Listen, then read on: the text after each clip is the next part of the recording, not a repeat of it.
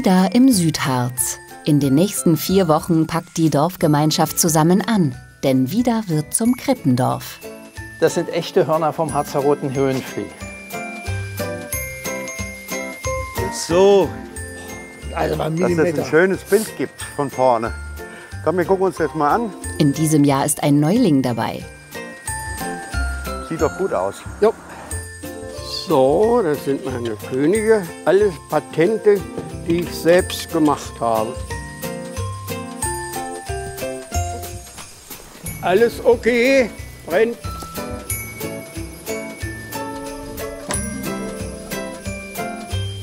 Dietmar, Walter deines Amtes.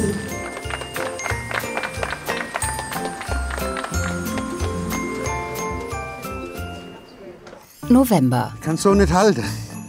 Ich komme ja her. Pass mal auf. Mal hochstellen, hochstellen, hoch, hoch. Weg die Karre. Mit dieser Wand wollen sie etwas Besonderes bauen. Eine neue Krippe mit lebensgroßen Figuren. Jetzt. So, wir machen es anders. Ich schraube den Balken noch mal ab. Schwer. Ich muss erst mal Luft holen. Der Neuling Jürgen Friedrichsen. So, Udo, jetzt gib ihn. Der alte Hase Udo Das Rohloff. muss ja Hätte ich erst ja mal gleich hier. sagen können. Wird so nix. Das habe ich doch gesagt. Nimmt mal weg die Karre und zieh das Ding da hin und fertig. Finger geklemmt. Kerl. Bis zum ersten Advent müssen sie mit der neuen Krippe fertig sein, denn dann entsteht in Wieder das Krippendorf. 23 lebensgroße Krippen stellen die Bewohner dafür im ganzen Ort auf. Eigentlich reisen dafür Menschen aus ganz Norddeutschland an. Wegen Corona rechnen sie in diesem Jahr mit weniger Besuchern. Das Eröffnungsfest mit Glühwein und Bratwurst? Abgesagt. Doch ihr Krippendorf bauen sie trotzdem auf. Tradition ist Tradition. So, jetzt heben wir so drauf.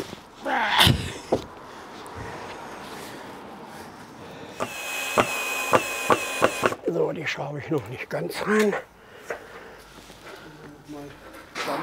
Jürgen, jetzt schieben wir das Ding da oben mal drauf. Ja. Gerade erst wieder machen. Warte mal. Hast du? Auf geht's. Auf deiner Seite ist noch locker, gell? Das habe ich damit gemeint.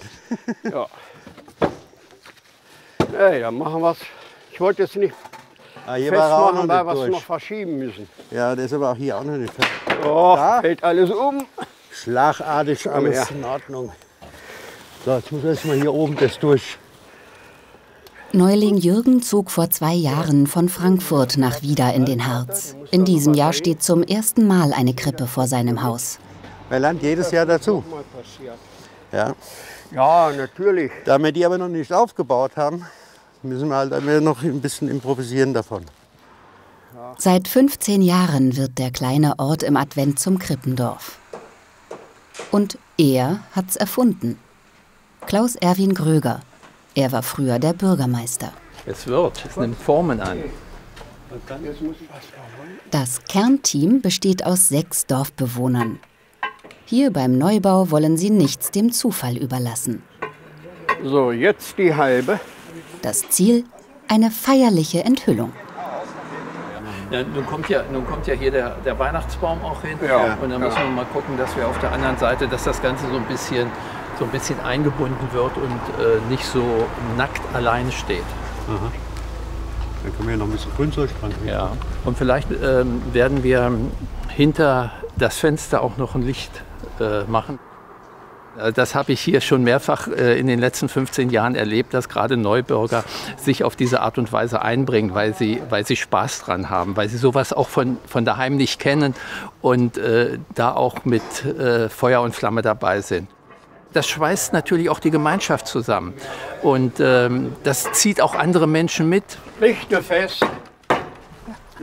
Fehlen nur noch die Figuren. Ja, das sieht doch ganz gut aus. Ich denke mal, Jesus war auch ein der erste. Schritt ist getan. Ja. Können wir zur nächsten Baustelle rücken. Genau. Wieder im Südharz. 1350 Einwohner, eine Hauptstraße. Zum ersten Advent findet hier immer das Krippendorf statt. Eine Attraktion, um Menschen in den Ort zu locken, denn Wieder lebt auch vom Tourismus. In diesem Corona-Jahr steht der Zusammenhalt im Dorf im Mittelpunkt. Kommt rein zum Arbeiten. Hallo Edelgard. So, jetzt wollen wir mal deine Fichten fällen. Schön, dass du uns hast stehen lassen. Richtig, jetzt ihr wird's könnt aber alles ernst. fällen, was ihr wollt. Für die Krippenweihnacht tun wir alles. Ja, das ist auch Denn gut das so. Wir brauchen jeden schön. Baum. Das ist ja das Schönste hier in wieder. Ja, eben, eben. Und da tut man was Da für. brauchen wir alles. So. So, Naja, es stimmt, nicht? Es ist äh, jetzt, wo sowieso die Seuche ist überall, ist es wichtig, so ein bisschen was aufzubauen und zu machen. Und wir schmücken ja auch alles selbst hier oben auch noch und mit Kerzen und Lichtern und all sowas. Ich habe ja schon angefangen, habe ja meinen Hirsch schon draußen. Die Krippenweihnacht finanziert sich ausschließlich durch Spenden. Das gilt auch für die Bäume.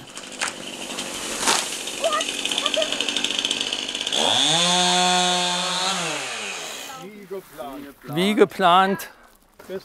Auf den Punkt, genau. Rund 60 Bäume wollen sie später entlang der Hauptstraße und im Dorf aufstellen. Also, vielen Dank. Ne? Tschüss. Nur möglich durch die Unterstützung der Dorfbewohner. Das Besondere im Krippendorf? Neben den lebensgroßen Krippen stellen viele Dorfbewohner kleinere Kreationen bei sich zu Hause auf. Auch Krippendorf Urgestein Udo. Auch das gehört dazu. Udo versucht seine Krippe jedes Jahr zu verbessern. Ihm ganz wichtig, die richtige Beleuchtung. Ich habe überall Lämpchen. Hier Lämpchen drunter, da drinnen Lämpchen.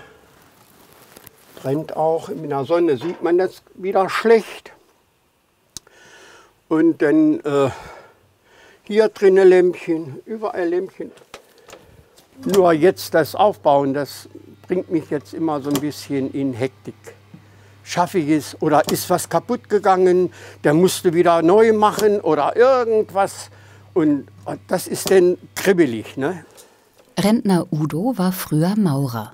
So, das sind meine Könige. Alles Patente, die ich selbst gemacht habe, die mir selbst eingefallen sind, wo man auch manche Nacht nicht geschlafen hat, weil man überlegt hat. So richtig läuft's noch nicht.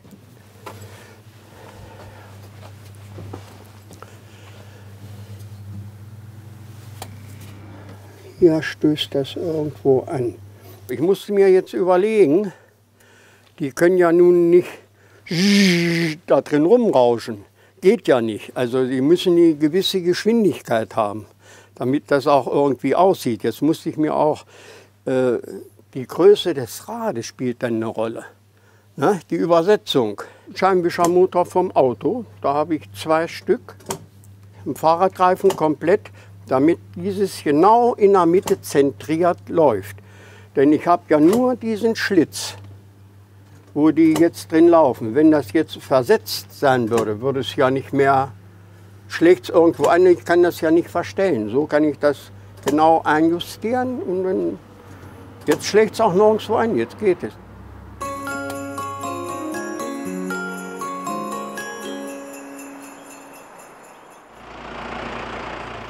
Vier Wochen später.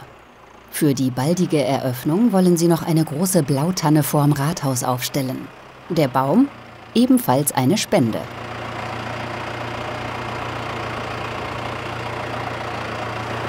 Es wird, es wird, es wird. Müssen wir aufpassen, dass die Zweige nicht abbrechen, wenn der jetzt vorfährt. Wäre schade. In diesem Jahr ist der Baum mit 8 Metern und 400 Kilogramm besonders groß und schwer. 400 Euro würde ein Baum dieser Größe eigentlich kosten. Soll er noch ruhig in eine Zange nehmen? Nicht nur das Kernteam des Krippendorfs hilft beim Aufbau. Alle neun Dorfvereine packen mit an. Das Team vom Bauhof stellt zusätzlich die Geräte kostenlos zur Verfügung.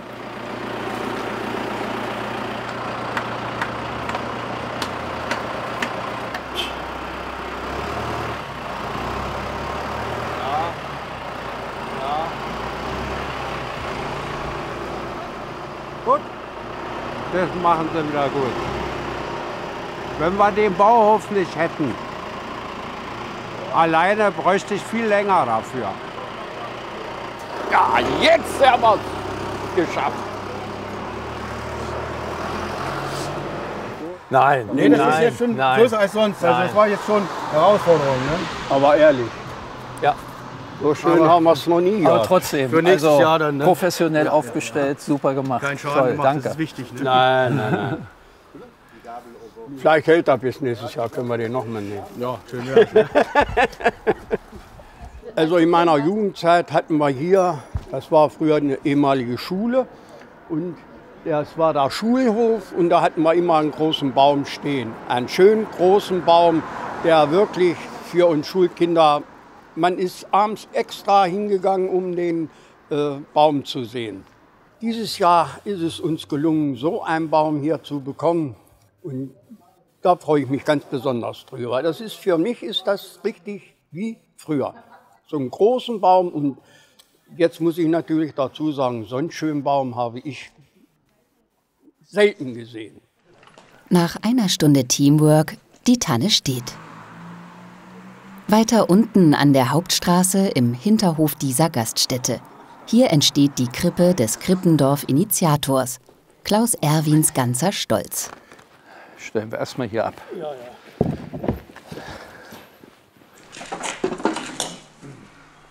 Ja, die Besonderheit bei dem Ochsen ist, das sind echte Hörner vom Harzer Roten Höhenflieh. Und hat auch die typische Färbung mit den sich von den anderen Rassen eben unterscheidenden Merkmalen. Das ist das Horn und das ist der Kopf. Und ich denke, das ist relativ äh, naturgetreu gelungen. Nach einem Fotovorbild einer liegenden Kuh habe ich dies entworfen. Ähm, Das ist ein Holzunterbau und dann eben äh, mit Bauschaum gestaltet. Mit solchen Materialien kennt er sich aus, denn früher war er Ingenieur. Das Kleine muss vor Kälte geschützt werden. So wie das ein verantwortungsbewusster Hirte auch in der Natur tut. Ja. Das Schaf, das. Ich würde sagen, ähm, ihr könnt hier erstmal ein bisschen Grün auslegen. Für seine eigene Krippe braucht er Platz und nutzt den ganzen Hof und die alten Stallungen.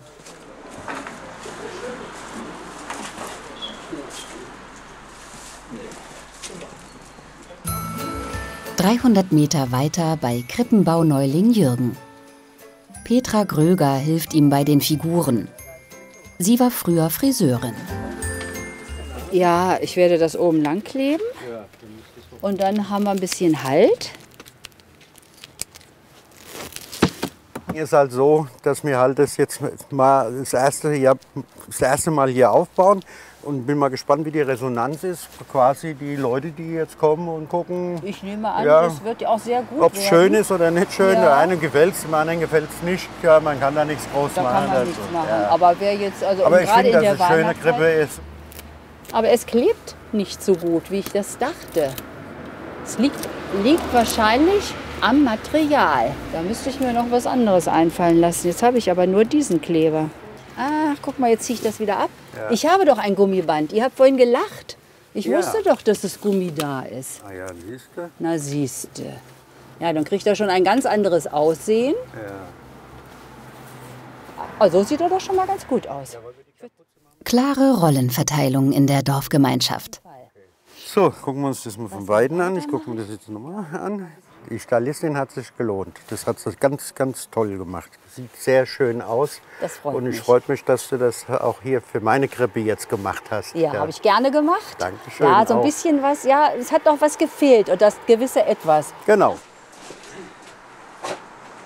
Die heiligen drei Könige. Ohne sie wäre auch Jürgens neue Krippe nicht komplett. Die Puppen hat er vom Flohmarkt. Wir müssen noch mal gucken, wie wir die hier platzieren, dass der Regen sie nicht kaputt macht, weil es doch alles Fell ist und so weiter. Ja, müssen wir mal sehen. Ähm, so sieht es ganz gut aus. Das Gesicht kann man auch noch ein bisschen machen und wie gesagt halt unseren Chef, der Klaus Erwin, der wird den Rest drapieren und eventuell hat er noch was zu meckern.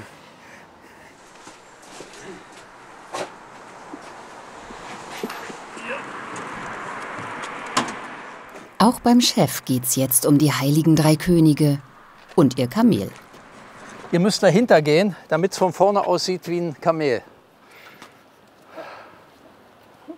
Am Bohlweg mitten im Dorf bauen sie heute noch Krippenbilder in vier Stationen auf. Sie sollen die Weihnachtsgeschichte nacherzählen.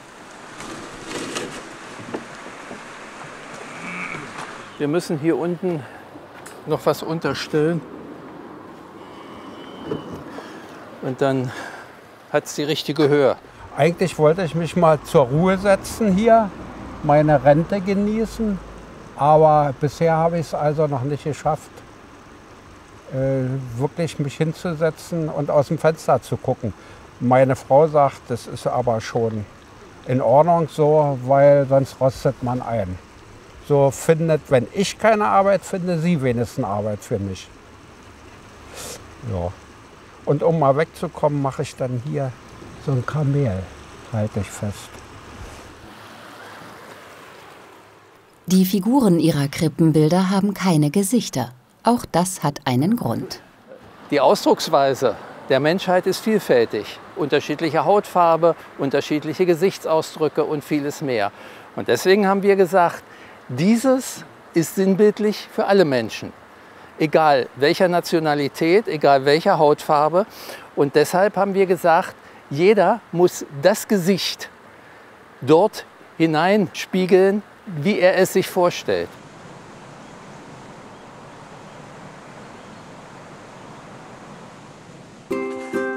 In Wiedas Rathaus befindet sich ein besonderes Highlight des Krippendorfs. Die Hauskrippensammlung. 120 seltene und alte Modelle zeigen sie hier. Doch in diesem Jahr bleibt die Ausstellung wegen Corona geschlossen. Trotzdem wird sie aufgebaut, denn sie gehört einfach dazu, meint Inge Werner. Seit 15 Jahren kümmert sie sich darum. Das war Familienbesitz. Das ist schon, oh, das ist von meiner Großmutter ist das ja noch. Also das hat schon wirklich viele Jahre einen guten Platz bei mir zu Hause gehabt. Und jetzt hat es wieder einen sehr schön hier in der Krippenausstellung. Da hast du uns wieder ein neues Exponat mitgebracht. Ja. Das ist ja toll. Das ist äh, ein ganz edles Stück und das möchte ich auch spenden. Ja, wir haben hier ganz besondere Stücke, zum Beispiel diese Krippe, die von einem Wiederer Bürger in Bleigießtechnik hergestellt wurde. Neben diesem 70 Jahre alten Exponat erzählen auch andere ein Stück Wieder Geschichte. Wieder gehörte zu den Hochburgen der Holzkohleherstellung. Deswegen ist hier eine Krippe mit einem Meiler, so wie der Meiler im Rohbau aussieht. Daneben ist ein Harzer Meiler dargestellt, wie er aussieht, wenn er angezündet wird. Und die Köhlerhütte, in die hier temporär Maria und Josef eingezogen sind.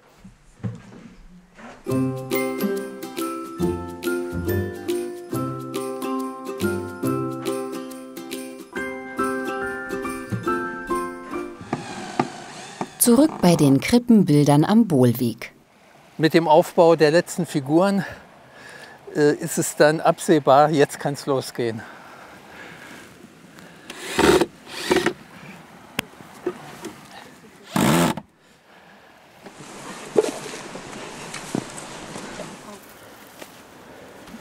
Ups.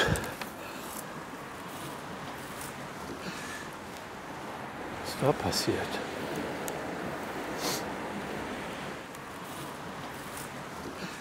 Kaputt.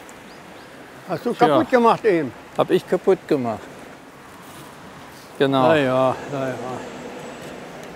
Bleibt nicht aus. Aber ich habe eine Stahlkappe, Sicherheitsmütze und dann passiert das. Ne?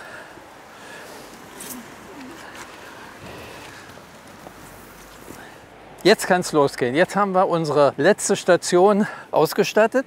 Für unseren Teil, für das, was das Kernteam der Krippenweihnacht aufbaut, sind wir durch.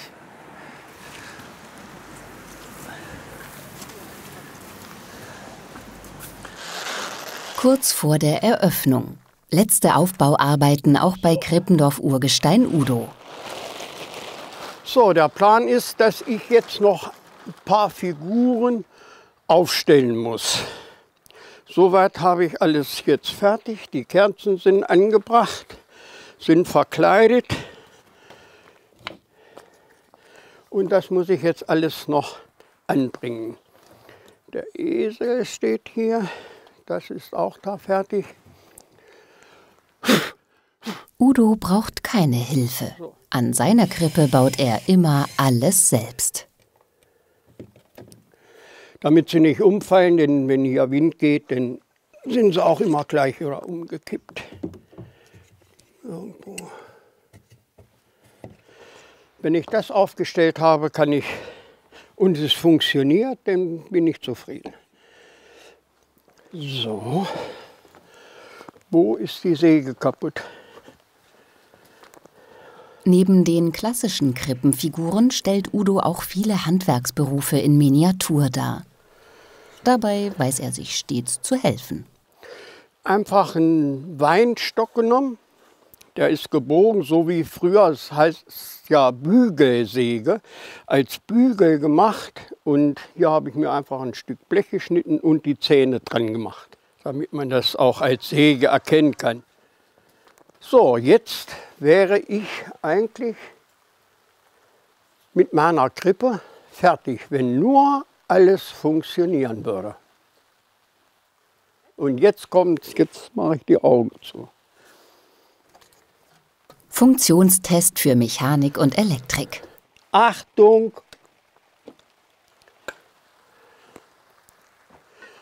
So, das von der Seite sieht es schon sehr gut aus. Lichter brennen alle, die brennen müssen. Ich bin richtig, ich bin stolz auf meine Arbeit. Das kann ich jetzt ruhig sagen, weil alles funktioniert hat, alles klappt. Und für meine Begriffe sieht gut aus und ich kann das auch von hinten sehen, von der anderen Seite und auch aus meinem Stübchen. Trotz Corona hofft Udo auf Besucher, die seine Krippe bestaunen.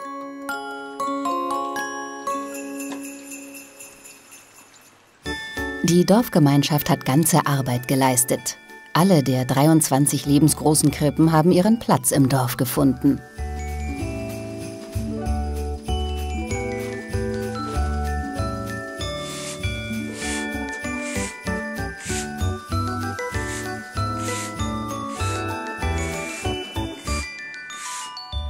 Jürgen ist zwar der Neue, aber er ist jetzt schon so penibel wie die Alten. Also nicht so. Ja, dann mach du. Ja, Dann weißt du, was du willst. so, Also mal dass es ein Millimeter. schönes Bild gibt von vorne. Komm, wir gucken uns das mal an.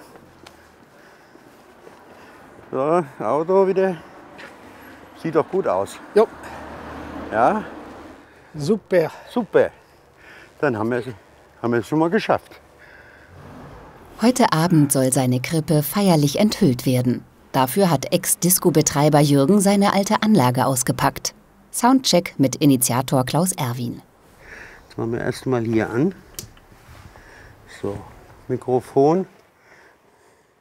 Klaus, kannst du mal was im Mikrofon reinsprechen? Eins, zwei, eins, Ja, warte mal, warte, warte, warte. So, eins, zwei. Nein, da kommt noch nichts. doch, da kommt was. Geh mal hin. Sprech mal rein. Eins, zwei, oh. Eins, zwei, drei. Willst ja. du mehr Hall, Echo, ja, ich denke ein bisschen weniger Hall weniger Hall? Ja, jetzt? und ein paar Höhen mehr. Eins, zwei. Ich denke, wir werden auch da drüben gehört. Bin ich zu verstehen, ja?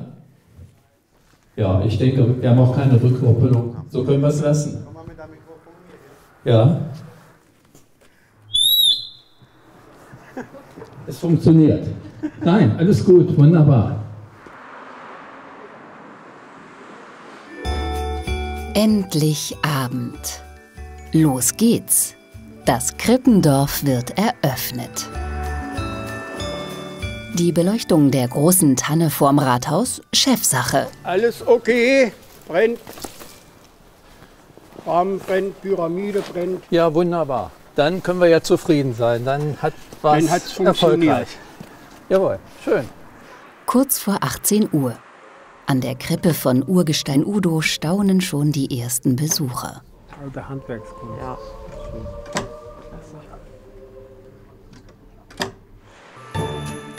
Und auch die anderen Stationen im Dorf erstrahlen in weihnachtlichem Glanz.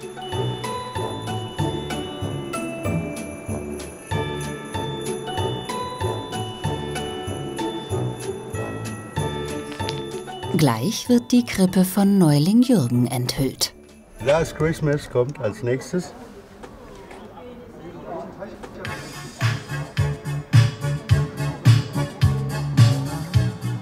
Jetzt bin ich aufgeregt. Ja. Ich muss schon drei Glühwein trinken, dass ich wieder runterkomme. es ist ja nicht mehr lang Zeit, dann wird schön die Krippe eröffnet. Ne? Ja. 18 Uhr. Trotz Corona sind die Dorfbewohner da, bleiben aber auf Abstand. Ach ja, jetzt ist die emotional, äh, jetzt steigt es. Ne? Ich freue mich, dass Sie da sind und das sage ich aus ganzem Herzen. Und ich freue mich natürlich ganz außerordentlich, dass wir heute eine neue, eine weitere lebensgroße Krippe der Öffentlichkeit übergeben können. Dietmar, walte deines Amtes.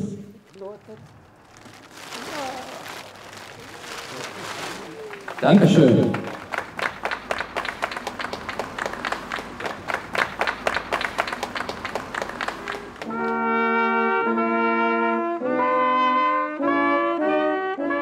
Jürgens erste eigene Krippe.